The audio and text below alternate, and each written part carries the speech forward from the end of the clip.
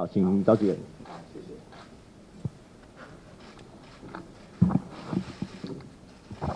啊，各位媒体的朋友，大家好。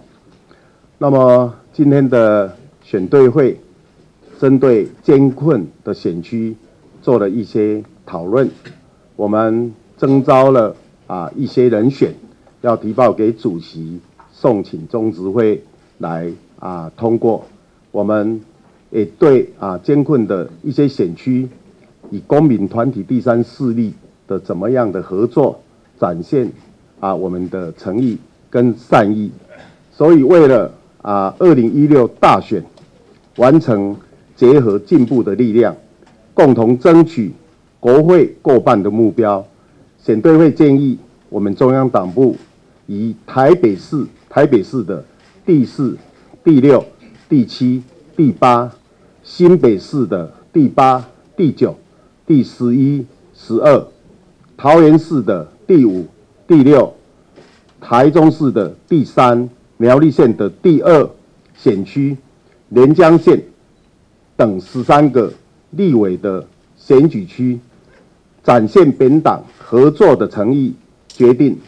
暂不予征召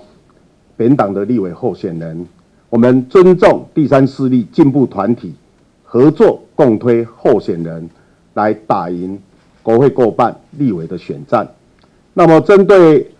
啊已经在今天选对会通过的征召的建议名单有，我们桃园市第一选区建议征召郑运鹏同志啊，那么花莲县征召肖美琴同志，金门县征召陈昌江同志，那么平地原住民的部分建议征召陈颖同志，代表本党参选第九届。立法委员，并提报啊，主席建请中执会来通过。那么除了这十三个啊，就是暂不予征召的地区，剩下的所有征召的地区，我们会在五月底之前来完成相关的啊征召的作业。那么再跟第三势力的结合，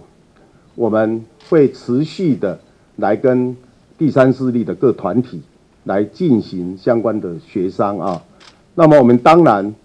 也期待第三势力能够在这十三个区来整合，就像科批的模式一样啊，来啊产生一个最有胜选的候选人，然后大家一致来打赢这个立委的选战。